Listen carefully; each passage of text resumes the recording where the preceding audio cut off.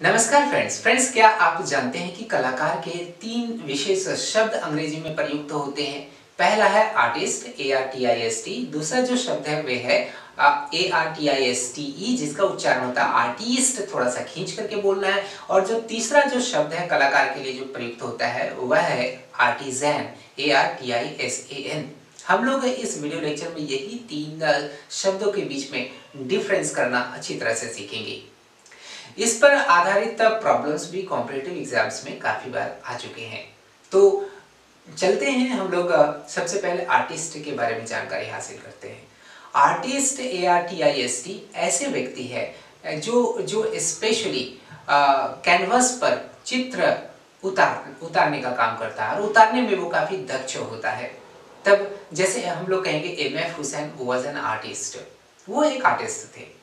किंतु हम लोग कभी भी नहीं कह सकते हैं कि अमिताभ बच्चन एक आर्टिस्ट है, या आप सैफ अली खान, या या अक्षय कुमार, ये ये सब आर्टिस्ट है, ये सब आर्टिस्ट नहीं है।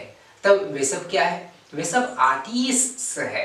A R T I S T E समझ में आया? जो कि स्टेज परफॉर्मर्स रहते हैं, जो कि फ़िल्मों में काम करते हैं, वे वे कैनवस पर चित्र बनाने का काम नहीं करते हैं। वे स्टेज पर या विशेष विशेष जगह पर, विशेष स्पॉट पर वह अपना एक्शन दिखाने का काम करते हैं। इसलिए ऐसे जो कलाकार है उसे हम लोग कहते हैं आर्टिस्ट लता मंगेशकर जी, वो एक आर्टिस्ट है A R T I S T E है वो।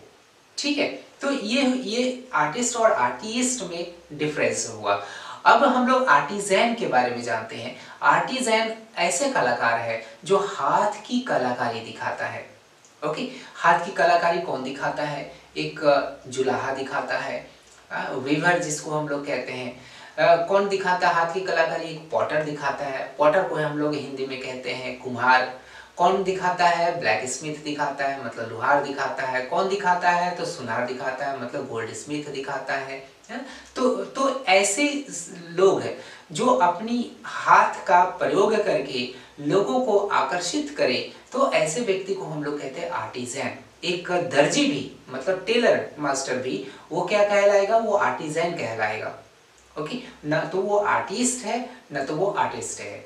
ठीक है? तो ये रहा तीनों ही शब्दों में एग्जैक्ट डिफरेंस और आपसे आशा है कि आप इन एटलीस्ट आर्टिस्ट और आर्टिस्ट शब्दों को आप इंटरचेंजेबली अपने डे टू डे कन्वर्सेशन में प्रयोग नहीं करेंगे। आशा करते हैं आपको अच्छी तरह से समझ में आ गया होगा तीनों के बीच में डिफरेंस मिलते हैं हम लोग अगले वीडियो वीडियो लेक्चर में, जहाँ पर आप इसी तरह से अन्य शब्दों को सीख पाएँगे अच्छी तरह से। Thank you for watching.